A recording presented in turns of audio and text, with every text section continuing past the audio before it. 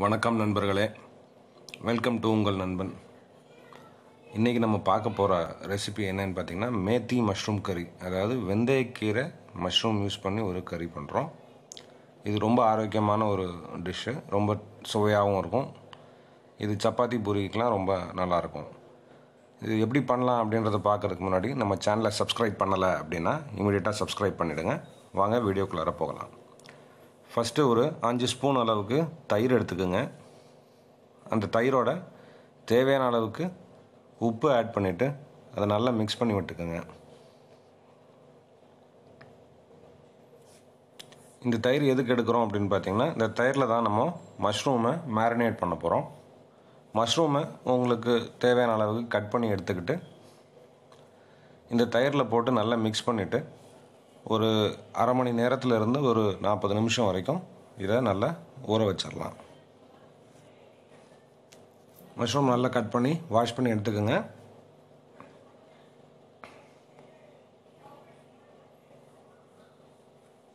இந்த மாதிரி மேரினேட் பண்ணிவிட்டு ஒரு ஆஃப் அன் ஹவர் நம்ம ஊற வச்சிடலாம். இப்போ மேரினேஷன் ரெடி ஆயிடுச்சு இதை ஓரமாக வச்சுட்டு நம்ம ஒரு கடாயில் ஆயில் சூடு பண்ணிக்கலாம். ஸ்பைசஸ் ஆட் பண்ணிக்கோங்க. பட்டை கிராம்பு ஏலக்காய் தேவைன்னா ஏலக்காய் ஃப்ளேவர் பிடிச்சவங்க அதை ஆட் பண்ணிக்கலாம். நான் ஏலக்காய் ஆட் பண்ணல.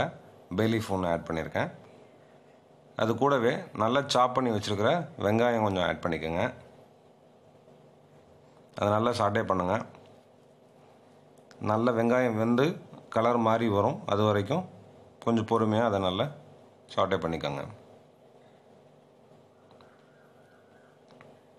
இப்போ நல்லா கலர் மாறிடுச்சு. இது கூடவே நம்ம சாப் பண்ணி வச்சுருக்கிற க்ரீன் சில்லி ஆட் பண்ணிக்கலாம். அது கூடவே ஜிஞ்சர் கார்லிக் பேஸ்ட்டும் ஆட் பண்ணிக்கலாம்.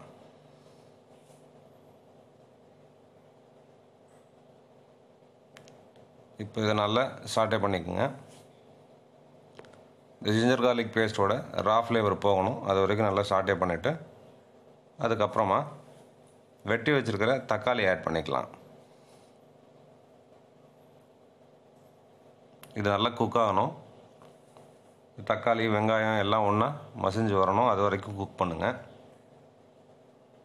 அதுக்கப்புறமா ஒரு டேபிள் ஸ்பூன் அளவுக்கு red chilli powder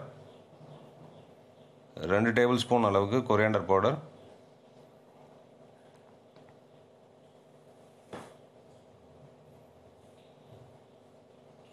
garam masala ஒரு டேபிள் ஸ்பூன்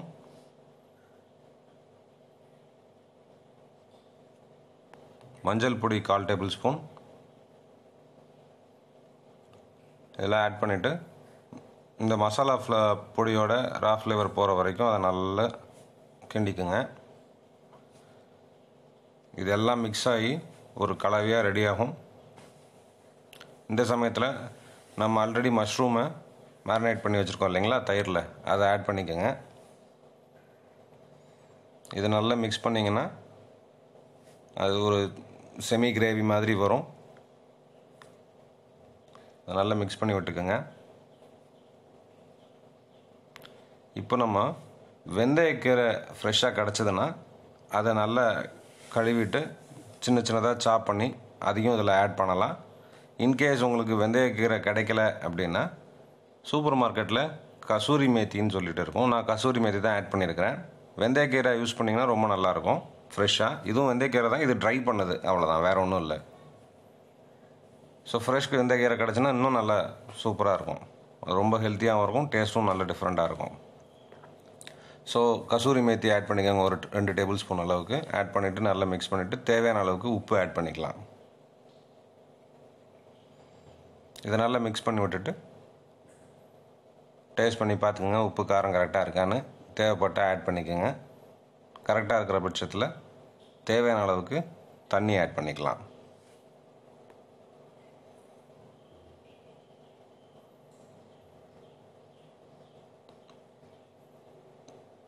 இது நல்லா மிக்ஸ் பண்ணி விட்டுட்டு ஒரு கொதி வர அளவுக்கு அலோவ் பண்ணுங்கள் மஷ்ரூம் குக் ஆகிடும் ஈஸியாக ஸோ வெந்தயக்கீரை மஷ்ரூம் கறி ரெடி ஆயிடுச்சு இதை ஹாட்டாக சர்வ் பண்ணலாம். சப்பாத்தி பூரி எல்லாத்துக்கும் இது ரொம்ப நல்லாயிருக்கும் ஈவன் ரைஸுக்கு கூட நல்லாயிருக்கும். உங்கள் வீட்டில் ட்ரை பண்ணி பாருங்கள் பார்த்துட்டு உங்கள் ஃபீட்பேக் என்னென்னு கமெண்ட் செக்ஷனில் கொடுங்க. இந்த வீடியோ